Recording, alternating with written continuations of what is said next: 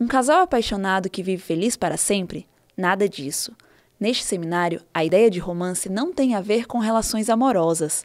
Alguns dos trabalhos apresentados abordam a representatividade da mulher na sociedade. Eu estudo a jornalista e escritora Eliane Brum, autora com um olhar que veio das redações, do jornalismo, da imprensa, precisou ir para a área da ficção para poder contar algo que, mesmo ela tendo uma voz no jornalismo, ela não conseguia falar, né? Então ela precisou do espaço da ficção. Então, é, eu trouxe um pouco da realidade dos Paracanãs, que são povos indígenas que eles possuem um território indígena chamado Paracanã e a questão da arte, da cultura deles, da pintura corporal eu trouxe essa perspectiva na visão de que somente as mulheres elas podem fazer essa pintura.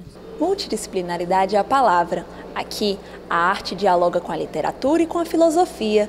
Tudo isso dentro da perspectiva do romance. A ideia foi falar do estético em suas amplas formas. Eu, alguns anos atrás, tive a ideia de deslocar a teoria epistemológica, que é uma disciplina filosófica naturalmente usada para o estudo das ciências, ao estudo dos fundamentos literários. O evento nasceu de um grupo de estudos com o mesmo nome, Epistemologia do Romance.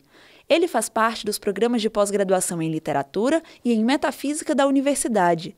Mas o seminário foi além dos muros da UNB e atraiu pesquisadores de outras instituições. Sempre que eu sou convidada para falar aqui, da UN, aqui na UNB, é, eu sempre aceito com muito prazer, é, porque eu acho que a gente tem que fazer mesmo essas, essas trocas, essas parcerias entre universidades, já que somos duas universidades na cidade. E esse intercâmbio com a Universidade de Brasília é muito gratificante, é muito enriquecedor e ele fortalece o nosso conhecimento né, e o nosso currículo e está experienciando, né, saindo do nosso estado, do meu no caso, Pará, e está vindo para Brasília é muito gratificante.